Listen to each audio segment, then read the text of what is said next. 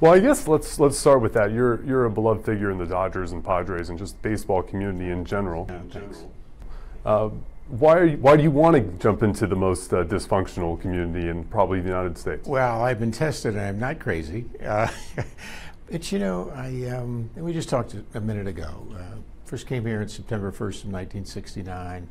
Uh, Dodgers called me up and put on a Dodger uniform for the first time, and my dreams came true, and it was the beginning of a wonderful career and, and becoming a Californian.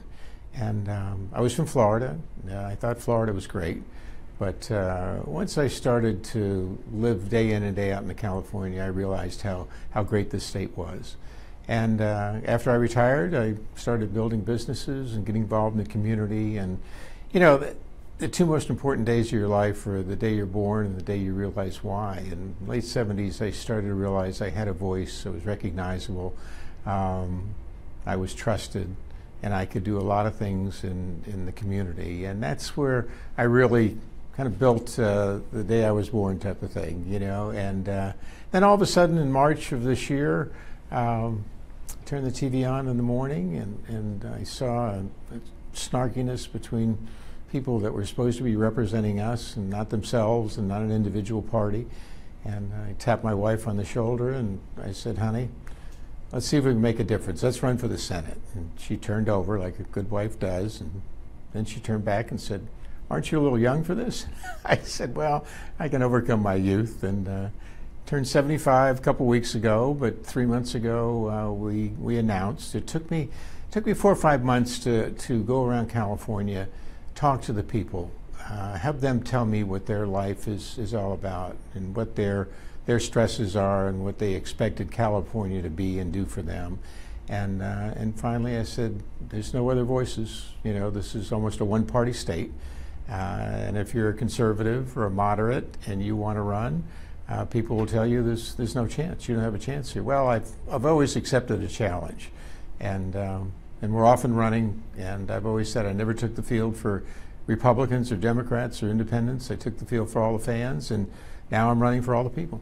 You will be running up against three Democrats that are in this debate, uh, and they're three experienced House members. Uh, what are you looking most forward to in that? And, and, and, do you feel like you're all prepared enough to go into the debate stage? Well, you know, for 45 years, I, I uh, had interaction with the press.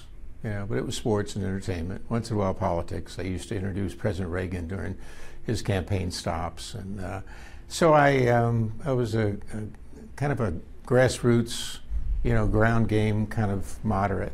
Um, and when I, I, I, took on this task, I knew it would be daunting simply because uh, over the years, and especially the last two or three decades, uh, this state is not the heartbeat of America that I know.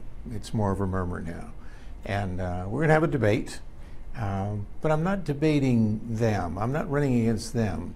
Uh, I'm running for the people of California. I'm running for their needs. I'm, I'm listening to them.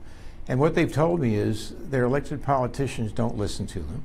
They tell them that their life's fine. They tell them that, as a matter of fact, you should pay more taxes because you're living in California. And these people, when I talk to them, spend 10, 15 minutes telling me how tough their life is, how they wake up in the morning and they're challenged by the daily needs of the family, and how they get in the car and they go to the gas station. And, uh, and they see hardworking Californians like themselves getting gas. And it's not, not 10 gallons anymore, it's $10. Uh, and they go to the grocery store, and, and food is 35 to 40 percent more. Uh, housing is, is much more costly. Young adults, 25 to 35, have no chance of, of buying a home or even an apartment now. Interest rates are too high, mortgages are too high. So my thrust is about about the Californians and their way of life uh, and how it needs to improve and, and to be their voice, to be their messenger uh, to have them be the wind beneath, beneath my wings. And at this time next year, be the next elected senator from the state of California and start to go to work uh, with common sense, with compassion, and consensus building. What did you learn today from your trip out to see uh, some of Kern County's agriculture? I know you made it a big point of wanting to tour the state and talk to people before you started talking a little bit more to the press. You know, over the years, I've been here frequently. Uh, actually, I had a junior high named after me in Lindsay, California, which is about an hour you know, out east. Very honored, by the way. Um, but you never get a chance to, to get truly into the community. I've spoken here, I've been here for charity events. Uh, but today was a, an eye opener about this, this vast, almost global agricultural community um, that, that has stresses, it has regulations and demands, and, and they're hardworking and they're generational. Uh, they just want to give back to the land and to the people, not only California and the United States, but the rest of the world. Uh, so they need, uh, they need to right, the right to breathe too. They need the right to, to be able to determine their destiny. They need somebody to stand up for them. Uh, things like water. Uh, they need water to uh, produce these crops. And they're doing a great job independently of, of the state government in uh, being able to provide that. But you still need somebody to, to uh, be the messenger and tell people about this great county in this area uh, and to get up every day and go bat for them.